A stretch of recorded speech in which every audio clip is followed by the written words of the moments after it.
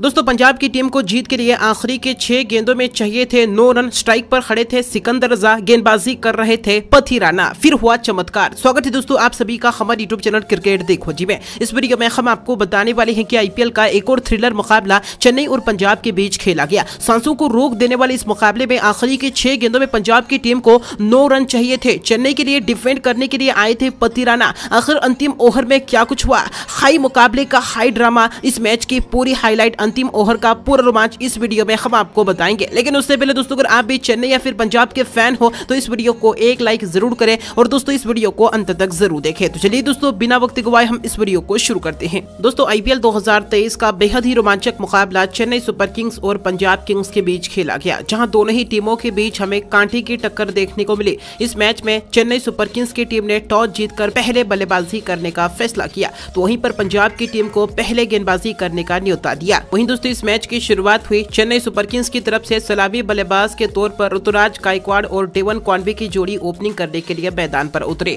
पहले ही ओवर में ऋतुराज गायकवाड़ के बल्ले से एक खरारा चौका देखने को मिला। दूसरे ओवर में डेवन कॉन्वे ने शानदार बल्लेबाजी करते हुए बैक टू बैक दो खरारे चौके जड़ दिए। अब तीसरे ओवर में ऋतुराज गायकवाड़ ने बेहतरीन बल्लेबाजी करते हुए एक के बाद एक दो नजाकत भरे चौके जड़ दिए और इसी ओवर में कॉन्वे के बल्ले से एक और शानदार चौका देखने को मिला। पाँचवें ओवर में गायकवाड़ के बल्ले से एक मैक्सिमम छक्का देखने को मिला। तो वहीं पर छठे ओवर में कॉन्वे ने शानदार बल्लेबाजी करते हुए नजाकत भरे दो चौके और इसी ओवर में गायकवाड़ के बल्ले से एक करारा चौका देखने को मिला। छह ओवर के पावर प्ले में चेन्नई की टीम बिना कोई विकेट गवाए सत्तावन रन बना चुकी थी। चेन्नई की टीम को काफ़ी बेहतरीन शुरुआत मिल चुकी थी। आठवें ओवर में डेवन कॉन्वे ने एक और शानदार चौका जड़ दिया। नौवे ओवर में कॉन्वे के बल्ले से मैक्सिमम छक्का भी देखने को मिला। अब दसवें ओवर में कॉन्वे ने एक बार फिर से नजाकत भरी बल्लेबाजी करते हुए एक के बाद एक दो शानदार चौके जड़ दिए। लेकिन इसी ओवर में सिकंदर रजा ने शानदार गेंदबाजी करते हुए रुद्रराज गायकवाड़ को स्टंप आउट करवा दिया। गायकवाड़ सैंतीस रनों की शानदार पारी खेलकर चलते बने।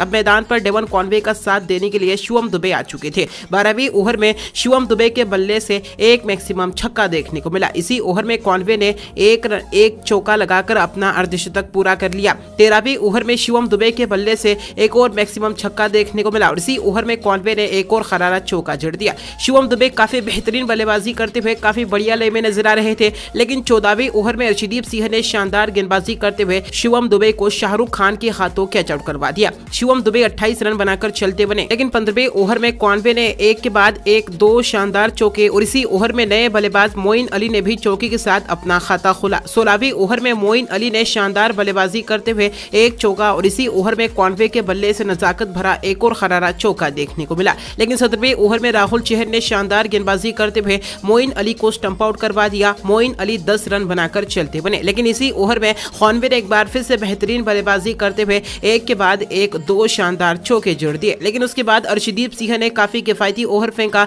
रबाड़ा के ओवर में कॉन्वे ने एक और शानदार चौका जड़ दिया। लेकिन बीसवें ओवर में सैम करन ने शानदार गेंदबाजी करते हुए जडेजा को लिविंगस्टन के हाथों कैच आउट करवा दिया। जडेजा बारह रन बनाकर चलते बने। लेकिन इसी ओवर की अंतिम दो गेंदों पर finisher the finisher Mahendra Singh Dhoni ने आती हुई विस्फोटक बल्लेबाजी करते हुए बैक टू बैक दो खतरनाक छक्के जड़ दिए और इस तरह से 20 ओवर में चेन्नई की टीम चार विकेट के नुकसान पर 200 रन बना पाई। चेन्नई की टीम ने पंजाब के सामने जीत के लिए 201 रनों का लक्ष्य रखा। इस लक्ष्य का पीछा करने के लिए पंजाब की तरफ़ से सलामी बल्लेबाज के तौर पर प्रभसिमरन सिंह और शिखर धवन की जोड़ी ओपनिंग करने के लिए मैदान पर उतरी। पहले ही ओवर में शिखर धवन ने एक के बाद एक दो शानदार चौके लगाकर अपनी मंशा को साफ़ तौर पर ज़ाहिर कर दिया था। दूसरे ओवर में प्रभसिमरन सिंह के बल्ले से भी मैक्सिमम छक्का देखने को मिला। तीसरे ओवर में शिखर धवन ने एक और मैक्सिमम छक्का और एक और शानदार चौका लगा दिया। तो वहीं पर चौथे ओवर में प्रभसिमरन सिंह के बल्ले से दो शानदार चौके देखने को मिले। चार ओवर तक पंजाब की टीम छियालीस रन बना चुकी थी, लेकिन पाँचवें ओवर में पहले तो शिखर धवन ने एक शानदार चौका जड़ा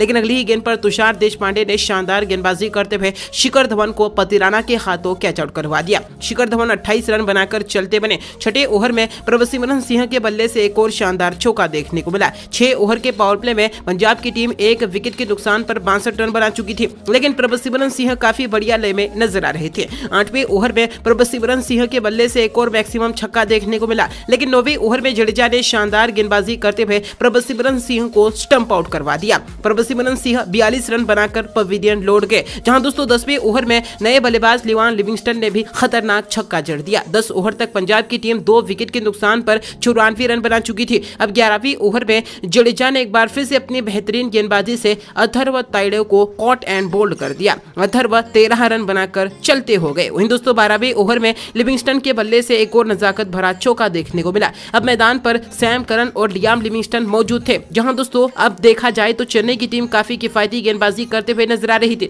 पंद्रहवें ओवर में सैम करन ने एक और नजाकत भरा चौका जड़ दिया। जहाँ दोस्तों, पंद्रह ओवर तक पंजाब की टीम तीन विकेट के नुकसान पर एक रन बना चुकी थी। लेकिन सोलहवीं ओवर में लियाम लिविंगस्टन ने विस्फोटक बल्लेबाजी करते हुए खतरनाक छक्के जड़ दिए। जहाँ दोस्तों, इस ओवर में लियाम लिविंगस्टन ने तुषार देश की जमकर पिटाई कर दी। इस ओवर में तुषार देश को लिविंगस्टन ने एक के बाद एक एक के बाद एक, तीन खतरनाक छक्के और एक करारा चौका जड़ दिया। लेकिन इसी ओवर में तुषार देश ने शानदार गेंदबाजी करते हुए लियाम लिविंगस्टन को ऋतुराज गायकवाड़ के हाथों कैच आउट करवा दिया। लिविंगस्टन चौबीस गेंदों में चालीस रन बनाकर चलते बने। जहाँ आखिरी की चौबीस गेंदों में पंजाब की टीम को जीत के लिए अड़तालीस रनों की ज़रूरत थी। वहीं दोस्तों, सत्रहवीं ओवर में नए बल्लेबाज जितेश शर्मा ने आते ही छक्के के साथ अपना खाता खोला। इसी ओवर में सैम करन के बल्ले से भी एक मैक्सिमम छक्का देखने को मिला। अब आखिरी के अठारह गेंदों में पंजाब को चाहिए थे इकतालीस रन। हाँ दोस्तों अठारहवीं ओवर में पतिराना ने शानदार गेंदबाजी करते हुए सैम करन को क्लीन बोल्ड कर दिया। जी हाँ दोस्तों, सैम करन उनतीस रन बनाकर चलते बने, लेकिन इसी ओवर में जितेश शर्मा के बल्ले से एक चौका देखने को मिला। अब आखिरी की बारह गेंदों में पंजाब की टीम को जीत के लिए बाईस रनों की ज़रूरत थी। उन्नीसवे ओवर में जितेश शर्मा ने शानदार चौकी के साथ शुरुआत की। लेकिन दोस्तों, इसी ओवर में तुषार देश ने शानदार गेंदबाजी करते हुए जितेश शर्मा को कैच आउट करवा दिया। जितेश शर्मा इक्कीस रन बनाकर चलते बने, लेकिन इसी ओवर में नए बल्लेबाज सिकंदर रजा ने आते ही चौकी के साथ अपना खाता खोला। उन्नीसवे ओवर में दोस्तों पंजाब की टीम ने तेरह रन बटोर लिए। अब आखिरी के छह गेंदों में चाहिए थे नौ रन। स्ट्राइक पर खड़े थे सिकंदर रजा गेंदबाजी कर रहे थे पति राना पहली ही गेंद पर दोस्तों पति राना ने रजा को सिर्फ़ एक रन दिया। दूसरी गेंद पर शाहरुख खान ने भी लेग बाय का एक रन दिया। तो वहीं पर तीसरी गेंद यहाँ पर पति पतिराना ने डॉग डाली। अब दोस्तों तीन गेंदों पर चाहिए थे, सात रन स्ट्राइक पर खड़े थे रजा। चौथी गेंद पर रजा ने दो रन दिए। अब दो गेंदों पर चाहिए थे पाँच रन। दोस्तों, पांचवी गेंद पर रजा ने दो रन दिए। अब दोस्तों, आखिरी गेंद पर पंजाब की टीम को जीत के लिए तीन रनों की ज़रूरत थी। पतिराना की आखिरी गेंद पर रजा ने तीन रन भाग कर लिए। इसी के साथ, दोस्तों, पंजाब की टीम ने इस मुकाबले को चार विकेट से जीत लिया। पंजाब की जीत पर आपकी महत्वपूर्ण राय क्या है, उसका जवाब कमेंट करके ज़रूर दे।